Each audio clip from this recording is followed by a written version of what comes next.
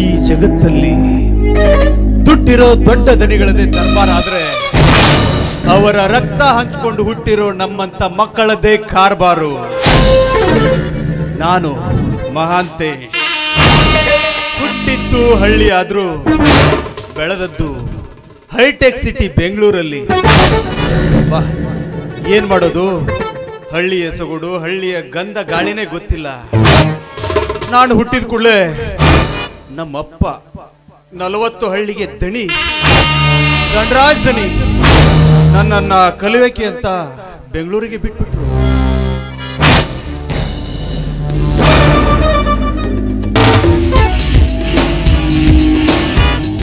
ಅಲ್ಲಿ ನನ್ನ ಚಿಕ್ಕಮ್ಮನ ಸಲುಗೆ, ಇಲ್ಲಿ ಹೆತ್ತವರ ಭಯವಿಲ್ಲ. ಹೀಗಾಗಿ ಬೆಂಗಳೂರಲ್ಲಿ ನನ್ನ ಲೈಫ್ ಸ್ಟೈಲ್ ಹೋಯಿತು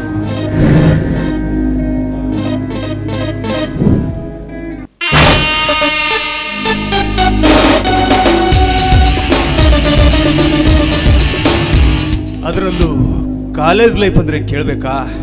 ವಾ ಎಂತೆಂತ ಹುಡುಗಿಯರು. ರಂಬೆ ಊರ್ವಸಿ ಮೇನಕೆ. ಅವರೇ ನಾಚಿಸುವಂತ ಸುಂದರಿಯರು. ಆದ್ರೆ ಏನ್ ಮಾಡೋದು?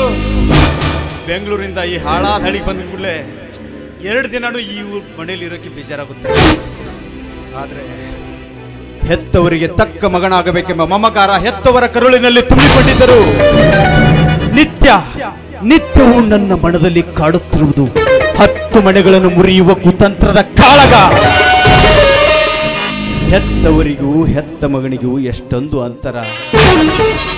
ಹೆತ್ತವರಿಗೆ ನಿತ್ಯ ಬೇಕಾಗಿರುವುದು ಸತ್ಯ, ನ್ಯಾಯ, ನೀತಿ, ಧರ್ಮ.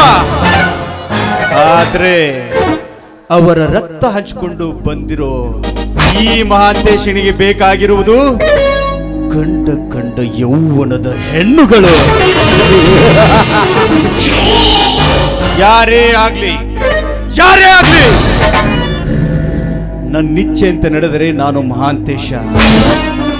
ನನ್ನ ಇಚ್ಛೆಯನ್ನು ತುಚ್ಛಕರಿಸಿದ್ದೆ ಆದರೆ ಅವರ ಬಾಳು ನುಚ್ಚು ನೂರಾಗುವುದರಲ್ಲಿ ಸಂದೇಹವೇ ಇಲ್ಲ.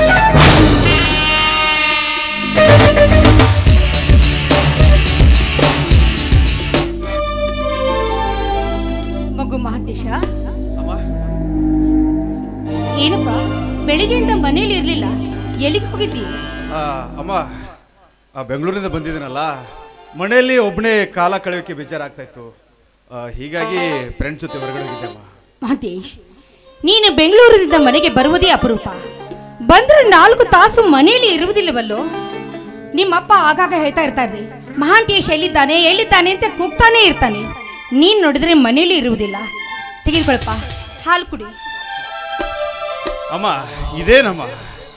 ಚಿಕ್ಕ ಮಗುಗೆ ಹಾಲು ಕುಡ್ಸಕ್ ಬಂದಂಗೆ ನನಗೆ ಹಾಲು ಕೊಡಕ್ ಬಂದಿದೆಯಲ್ಲ? ಅಮ್ಮ ನಾನು ಆ ನಿಮ್ಮ ಚಿಕ್ಕ ಮಗು ಮಹಾಂತೇಶ್ ಅಲ್ಲ. ಬೆಳೆದು ದೊಡ್ಡವನಾದ ಪ್ರಾಪ್ತ ವಯಸ್ಸಿನ ಮಗ ನಾನು. ಮಗು ಮಹಾಂತೇಶ್, ನೀನು ಎಷ್ಟೇ ಬೆಳೆದು ದೊಡ್ಡವನಾದರೂ ಕೂಡ ಹೆತ್ತ ತಂದೆ ತಾಯಿಗಳಿಗೆ ನೀನಿನ್ನೂ ಚಿಕ್ಕವನೇ ಅಪ್ಪ. ನೀನ್ ಈ ಮನೆಯಲ್ಲಿ ಚಿಕ್ಕವನಿದ್ದಾಗ ನೀನು ಚೊಕ್ಕಾಗಿ ಬೆಳೀಲಿ ಅಂತ ದಿನನಿತ್ಯ ನಾನು ನಿನಗೆ ಹಾಲು ಕುಡಿಸುತ್ತಾ ಬಂದೆ. ಅದರ ಅಭ್ಯಾಸ ನಾನಿನ್ನೂ ಮರ್ತಿಲ್ಲ. ಈ ಮನೆಯಲ್ಲಿ ಯಾವತ್ತೂ ನೀನು ಚೆನ್ನಾಗಿ ಹಾಲು ಕುಡಿದು ಇರಬೇಕೆಂಬುದೇ ನಿನ್ನ ತಾಯಿಯ ಆಸೆ. ಹೆತ್ತ ತಾಯಿ ಕೈಯಿಂದ ಹಾಲು ಕುಡಿದ್ರೆ ಯಾವತ್ತೂ ಕೆಡುಕಲ್ಲಪ್ಪ? ತೆಗೆದುಕೋ. ಅಮ್ಮ ಹೆತ್ತ ಕರುಳಿನ ಪ್ರೀತಿ ತಿಳಿಯಲಾರದೆ ಏನೇನೋ ಮಾತಾಡ್ಬಿಟ್ಟೆ. ಕ್ಷಮಿಸ್ಬಿಡಮ್ಮ ಕೊಡಮ್ಮ ಹಾಲು. ಅಮ್ಮ ಇನ್ನೊಮ್ಮೆ ಇನ್ನು ಮುಂದೆ ನಾನು ಬೆಂಗಳೂರಿಂದ ಊರಿಗೆ ಬಂದಾಗ ನಿನ್ನ ಕೈಯಿಂದ ಹಾಲು ಕುಡದೆ ಹೊರಗೆ ಹೋಗ್ತೇನೆ ಆಯ್ತಾ? ಕೊಡಮ್ಮ ಹಾಲು. ತೆಗೆದುಕೊಳ್ಳಪ್ಪ.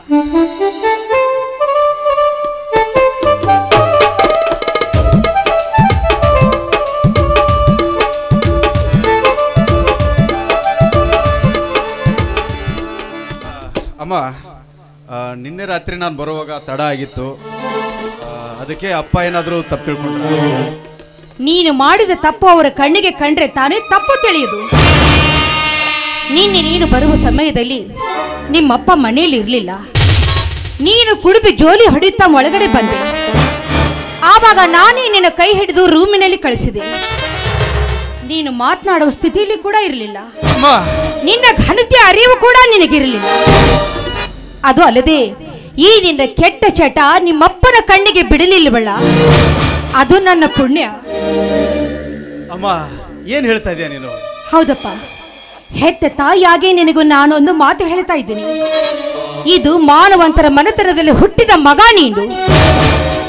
ಯಾಲ್ಕು ಯಾವ ಜನ ಬಾಳೆ ಬದುಕುವಂತ ಮಾತನಾಡಬೇಕು ವಿನಃ ಇಂಥ ಹೀನ ಕೆಲಸಕ್ಕೆ ಯಾವತ್ತಿಗೂ ನೀನು ಕೈ ಹಾಕಬಾರ್ದು. ಅದು ಅಲ್ಲದೆ ಈ ವಯಸ್ಸಿನಲ್ಲಿ ಕುಡಿಯೋದು ಜೂಜಾಟ ಮಾಡುವುದು, ಈ ರೀತಿ ಹೀನ ಕೆಲಸಕ್ಕೆ ಕೈ ಹಾಕಿದ್ದೆ ಆದರೆ ಮುಂದೆ ನಿನ್ನ ಜೀವನ ದುರಂತ ತಪ್ಪಿದ್ದಲ್ಲ. ಈಗಿನ ಕಲಿಯುಗದಲ್ಲಿ ಕುಡಿಯೋದೇನು ದೊಡ್ಡ ತಪ್ಪಲ್ಲ? ಕೊಲೆ ಸುಲಿಗೆ ಕಳ್ಳತನ ಮಾಡಿದ್ರೆ ತಪ್ಪಾಗುತ್ತೆ ನಿಜ. ದುಡ್ಡಿದ್ದು ದೊಡ್ಡವರಾದ ನಾವು ಕುಡಿಯೋದೇನು ದೊಡ್ಡ ತಪ್ಪಲ್ಲ? ಆದ್ರೂ ಅಮ್ಮ, ಹೆತ್ತವ್ರ ಆಜ್ಞೆ ಏನಂತ ತಿಳಿಯಿತು. ನಿನ್ನೆ ರಾತ್ರಿ ನಾನು ಕುಡಿದು ಬಂದಿದ್ದು ತಪ್ಪಾಯ್ತಮ್ಮ. ಕುಡಿದು ಬಂದಿದ್ದಕ್ಕೆ ಶಿಕ್ಷೆ ನೀಡೋದಾದ್ರೆ ನೀನೇ ನೀನೇ ನಿನ್ನ ಕೈಯಾರೆ ಹಾಗಂತ ನೀನ್ ತಿಳಿದುಕೊಂಡಿದ್ಯಪ್ಪ ಆದ್ರೆ ನಾವು ತಿಳಿಯಬೇಕಲ್ಲ. ಯಾಕೆಂದ್ರೆ ಇದು ಸಂಸ್ಕೃತಿ ಸಂಪ್ರದಾಯಸ್ಥರ ಮನೆ ಇದು. ತಪ್ಪು ಮಾಡಿದವರು ಯಾರೇ ಆಗಿರಲಿ, ಈ ಜಾಗದಲ್ಲಿ ಶಿಕ್ಷೆ ತಪ್ಪಿದ್ದಲ್ಲ. ಅಂದ ಮಗಳೇ ನೀನು ಈ ಮನೆಯ ಮಗನಾಗಿ ಯಾವಾಗಲೂ ತಪ್ಪಿಗೆ ಹೆಜ್ಜೆಯನ್ನು ಇಡಬಾರದು. ಒಂದು ವೇಳೆ ಇಟ್ಟಿದ್ದೇ ನಿಜವಾಗಿದ್ರೆ ನಿನ್ನ ಬಾಳಿನಲ್ಲಿ ದುರಂತ ತಪ್ಪಿದ್ದಲ್ಲ ಎಚ್ಚರ. ಆಯ್ತಮ್ಮ, ನಿನ್ನ ಆಜ್ಞೆ ಪಾಲಿಸ್ತೇನೆ. ಅಮ್ಮ. ಅಮ್ಮ, ನಿನ್ನ ಪಾದ ಮುಟ್ಟಿ ಹೇಳ್ತೀನಿ. ಇವತ್ತಿನಿಂದ ನಾನು ಯಾವ ತಪ್ಪು ಆಗದಂತೆ ನಡೆದುಕೊಳ್ತೀನಿ. ಇದೇ ಕೊನೆ. ಅಮ್ಮ ನಾನು ಇವತ್ತು ಸಂಜೆ ಬೆಂಗಳೂರಿಗೆ ಹೋಗ್ಬೇಕು.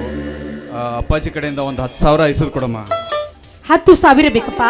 ಐವತ್ತು ಸಾವಿರ ರೂಪಾಯಿ ಕೊಡ್ತೀನಿ. ಆದರೆ ನೀನು ಬುದ್ಧಿನವಂತರಾಗಿರಬೇಕೆಂಬುದೇ ನನ್ನ ಆಸೆ.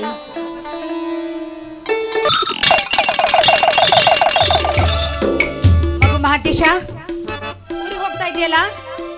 ಅಲ್ಲಿ ಸರಿಯಾಗಿರಪ್ಪ. ಆ ನಿನ್ನ ಆರೋಗ್ಯ ಸರಿಯಾಗಿ ನೋಡ್ಕೋ. ಆಯ್ತಮ್ಮ. ಅಲ್ಲಿ ಇಲ್ಲಿ ತಿರುಗಾಡೋದಕ್ಕೆ ಹೋಗ್ಬೇಡಪ್ಪ. ಇಲ್ಲಿ ಮಾಡಿದ ಹಾಗೆ ಅಲ್ಲಿಯೂ ಮಾಡಬೇಡ. ಆಯ್ತಮ್ಮ. ನಿಮ್ಮ ಅಪ್- ಆ, ನಿಮ್ಮ- ಅಪ್ಪಾಜಿ ಬಂದ್ರಮ್ಮ. ಹಾ ಬರ್ತಾ ಇದ್ದಾರೆ.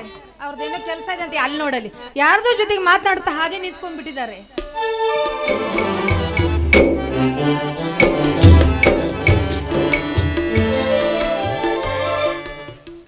ನನ್ನ ನನ್ನನ್ನು ಬಿಟ್ಟು ತಾಯಿ ಮಗ ಏನೋ ಗುಟ್ಟಾಗಿ ಮಾತಾಡ್ತಾ ಇದ್ದೀರಿ? ಏನು ಗುಟ್ಟು? ಜೋರಾಗಿ ಮಾತಾಡ್ತಾ ಇದ್ದೀವಲ್ಲ. ಅವನು ಬೆಂಗಳೂರಿಗೆ ಹೋಗ್ತಾ ಇದ್ದಾನಂತೆ. ಅದಕ್ಕಾಗಿ ಹತ್ತು ಸಾವಿರ ರೂಪಾಯಿ ಕೊಡ್ಬೇಕಂತೆ. ಅಲ್ಲ ಕಣೆ ಕೇವಲ ಹತ್ತು ಸಾವಿರ ರೂಪಾಯಿ ಕೊಡೋಕ್ಕೆ ನನ್ನನ್ನು ಕೇಳಬೇಕೆ? ಹತ್ತು ಸಾವಿರ ಯಾಕೆ? ಐವತ್ತು ಸಾವಿರ ಕೊಟ್ಟು ಕಳಿಸು. ನನ್ನ ಅಭ್ಯಂತರ ಏನೂ ಇಲ್ಲ. ಮಗು ಮಾಂತೇಶ. ಅಪ್ಪಾಜಿ. ಆದ್ರೆ ಒಂದು ಮಾತು ಕಣ ನಿನ್ನ ಹತ್ರ ಒಂದು ಮಾತು ಕೇಳ್ತೀನಿ. ನಡೆಸ್ಕೊಡ್ತೀನಿ ಅಂತ. ಮಾತು ಕೊಡ್ತೀಯ ಕಂದ? ಅಪ್ಪಾಜಿ ಏನಂತ ಹೇಳಿ ಅಪ್ಪಾಜಿ. ನಿಮ್ಮ ಮಾತನ್ನ ನಾನು ಚಾಚು ತಪ್ಪದೆ ಪಾಲಿಸ್ಬಿಡ್ತೀನಿ. ಮಹಂತೇಶ, ನಮ್ಗಿರೋನು ನೀನು ಒಬ್ಬನೇ ಮಗ. ಈ ಮನೆ ಆಸ್ತಿ, ಅಂತಸ್ತು, ಐಶ್ವರ್ಯಕ್ಕೆಲ್ಲ ನೀನೇ ಸರ್ವಾಧಿಕಾರಿ. ಮುಂದೊಂದು ದಿನ ಈ ಮನೆ ಯಜಮಾನ ಆಗಬೇಕಾದವನು. ನೋಡು, ಈಗ ನಮ್ಮ ಆಯುಸ್ಸು ಕಡಿಮೆ ಆಗ್ತಾ ಬರುತ್ತೆ. ನಿನ್ ಬುದ್ಧಿ ವೃದ್ಧಿಯಾಗುತ್ತಾ ಹೋಗುತ್ತೆ. ಬೆಳೀತಾ ಇರೋ ಈ ನಿನ್ ಬುದ್ಧಿಲಿ ನಮ್ಮ ಸಂಸ್ಕೃತಿ, ಸಂಪ್ರದಾಯ, ನಿಷ್ಠೆ ಬಹಳಷ್ಟು ಪರಿಶುದ್ಧವಾಗಿರಬೇಕು. ಪರಿಶುದ್ಧವಾದ ನಿನ್ನ ಬದುಕನ್ನು ಕಂಡು ಹತ್ತು ಜನ ಮೆಚ್ಚಿಕೊಳ್ಳುವಂತಿರಬೇಕು. ಶುಚ್ಛವಾದ ಇಚ್ಛೆಗಳು. ಕಿಚ್ಚಿನಲ್ಲಿ ಸುಟ್ಟ ಚೊಕ್ಕ ಚಿನ್ನದಂತೆ ಚಂದನದ ಗೊಂಬೆಯಾಗಿ ಕಾಣಬೇಕು. ನೀನು ಕಂಡವರ ಕಂಡಲ್ಲಿ. ಹಾಗೆ ಬಾಳ್ತೀಯ ಕಂದ? ಖಂಡಿತ ಅಪ್ಪಾಜಿ. ಅಪ್ಪಾಜಿ, ಹೆತ್ತವರ ಕರಳಿಗೆ ಯಾವ ಕಳಂಕವನ್ನು ತಾರದೆ? ಈ ಮನೆಯ ಕೀರ್ತಿ ಶಿಖರವನ್ನೇರಿ, ನ್ಯಾಯ, ನೀತಿ, ಧರ್ಮಕ್ಕೆ ಉಸಿರಾಗಿರುವ ನಿಮಗೆ ನಿಮ್ಮ ಮಾತಿನಂತೆ, ನಿಮ್ಮ ಆಶೀರ್ವಾದದಂತೆ ನಡೆದುಕೊಳ್ತೀನಿ ಅಪ್ಪಾಜಿ. ಆದರೆ ಅಪ್ಪಾಜಿ, ನೀವು ಮಗನಾದ ನನ್ನ ಮೇಲೆ ಸ್ವಲ್ಪ ನಂಬಿಕೆ ಇಡಬೇಕು ಅಷ್ಟೇ. ಮಹಾಂತೇಶ, ಮೀಸಿ ಬೆಳಗಾಗ ಗಡ್ಡನ ಬೆಳಗಾಗ, ತನಗ ಕುಂತ್ಕೊಂಡು ನೋಡು ಮಾಂತೇಶ ಅಲ್ಲ ಕಣು ಹೆತ್ತವರು ಮಗನ ಮೇಲೆ ನಂಬಿಕೆ ಇಡ್ದು ಇನ್ಯಾರ ಮೇಲಪ್ಪ ಇಡ್ತಾರೆ? ಆದರೆ ನಾನು ಯಾಕೆ ಮಾತು ಹೇಳ್ತಾ ಇದ್ದೀನಿ ಅಂತಂದ್ರೆ ನಮ್ಮಿಬ್ಬರ ಆಸೆಯಂತೆ. ಈ ಅರಮನೆ ಎಂಬ ಗೂಡಿನಲ್ಲಿ ಗಿಡಿಯಂತೆ ನಿನ್ನನ್ನು ಸಾಕಿದ್ದೀವಿ. ಪ್ರೀತಿ, ಪ್ರೇಮ, ವಾತ್ಸಲ್ಯ, ಮಮಕಾರಗಳ ಹಣ್ಣು ಹಂಪಲುಗಳನ್ನು ತಿನ್ನಿಸಿ ನಿತ್ಯ ಸಾವಿರಾರು ಜನರಿಗೆ, ನಿತ್ಯ ಸಾವಿರಾರು ಜನರಿಗೆ ಪಾಠ ಪ್ರವಚನವನ್ನು ಹೇಳುವ ಶಿವಶರಣರ ವಾಣಿಯನ್ನು ನುಡಿಯುವ ಗಿಳಿ ನೀನಾಗಬೇಕು ಅಂತ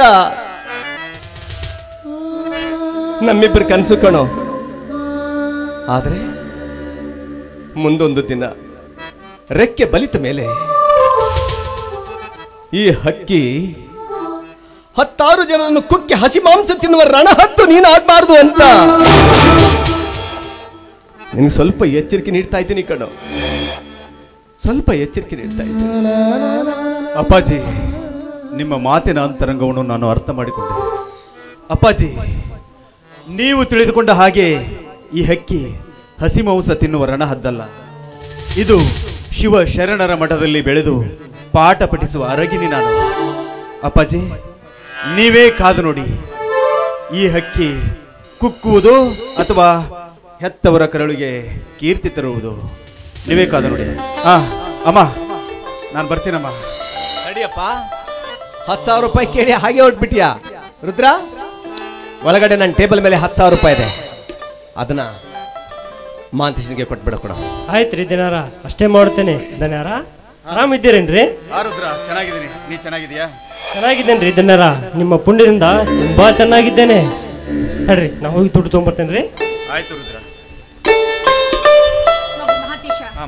ಹೋದ ತಕ್ಷಣ ಕಾಗದ ಬರೀಯಪ್ಪ. ಆಗಾಗ ಸಮಯ ಸಿಕ್ಕಾಗ ಮನೆಗೆ ಬಂದು ಹೋಗ್ತಾ ಇದ್ರು ಏನು ನಿನ್ನ ಚಿಕ್ಕಮ್ಮನಿಗೂ ನಾನು ಕೇಳಿದ್ದೀನಿ ಅಂತ ಹೇಳಿ. ಖಂಡಿತಮ್ಮ. ಬರ್ಬೇಕಂದ ನೀವು ಬೆಂಗಳೂರು ಹೊಂಟಿರಲ್ರಿ ಈಗ? ಹೌದು ರುದ್ರ. ಬೆಂಗಳೂರಾಗ ನಮ್ಮ ತಂಗಿ ನನ್ನ ಮಗಳು ಸಹಿತ ಅಲ್ಲೇ ಓದುತ್ತಿದ್ದಾಳೆ. ಈ ವರ್ಷ ಬಿ ಎ ಮುಗಿತೈತಿ. ನೀವು ಸ್ವಲ್ಪ ಅವಳಿಗೆ ಭೇಟಿಯಾಗಿ ನಿನ್ನಪ್ಪ ಚೆನ್ನಾಗಿದ್ದಾನಂತ ಹೇಳ್ತೀರೇನ್ರಿ? ಹೌದಾ? ನಿಮ್ಮ ಮಗಳು ಬೆಂಗಳೂರಲ್ಲಿ ಓದ್ತಾ ಇದ್ದಾಳ. ಹಾ ರುದ್ರ ಬೆಂಗಳೂರಲ್ಲಿ ಯಾವ ಕಾಲೇಜಲ್ಲಿದ್ದಾಳೆ? ಯಾವ ಏರಿಯಾದಲ್ಲಿದ್ದಾಳೆ? ಜನಾರ ಬರೋ ಅವಸರದಾಗ ಅಡ್ರೆಸ್ಸನ್ನ ಮನೆಯಾಗೆ ಬಿಟ್ಟು ಬಂದೆ. ಹೋಗ್ಲಿ ಬಿಡ್ರಿ. ಇನ್ನೊಮ್ಮೆ ಬಂದಾಗ ಕೊಡ್ತೇನಂತ ಈಗ ಬರ್ರಿ. ಬಸ್ಸಿಗೆ ವೇಳಾಯ್ತು ನಾವು ಬಸ್ ಸ್ಟ್ಯಾಂಡ್ ತನಕ ಬರುತ್ತೇನೆ. ಆಯ್ತು. ಅಪ್ಪಾಜಿ ನಾ ಬರ್ತೀನಿ. ಅಮ್ಮ ನಾ ಬರ್ತೀನಿ. ಜನಾರ ಹೋಗಿ ಬರ್ತೇವ್ರಿ. ಇವ್ರ ಬಸ್ಸಿನ ಮಟ್ಟ ಬಿಟ್ಟು ಬರ್ತೇವ್ರಿ. ಮಹಾದೇವಿ ನಂಗೆ ಸ್ವಲ್ಪ ಡಿ ಸಿ ಆಫೀಸ್ನಲ್ಲಿ ಕೆಲಸ ಇದೆ. ನಾನು ಹೋಗಿ ಬರಲಾ?